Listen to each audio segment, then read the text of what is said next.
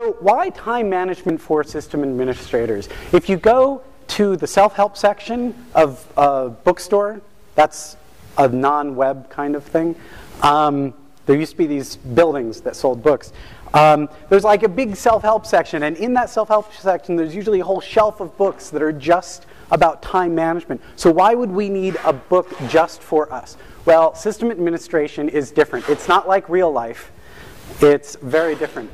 Um, our, um, our boss likes when we get projects done, but our customers like when we're available to them for their interruptions. And interruptions and projects are sort of um, the opposite. uh, we have, so higher degree of customer interrupts.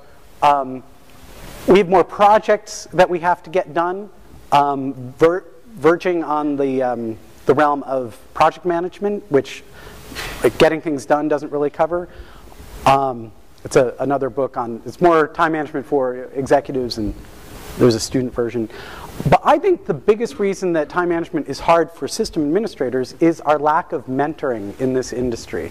If you think about it, if you're an MBA and your boss is an MBA and you have a little business related kind of time management problem, you can talk to your boss for advice and he or she understands your job and can give you advice. But as a system administrator, your boss is either non-technical or technical. Now, if they're technical, they probably can't give you much time management advice because they're just as screwed up as you. And if they're uh, if they're non-technical, they don't understand your job well enough to give you real advice. So we really have to, to help ourselves.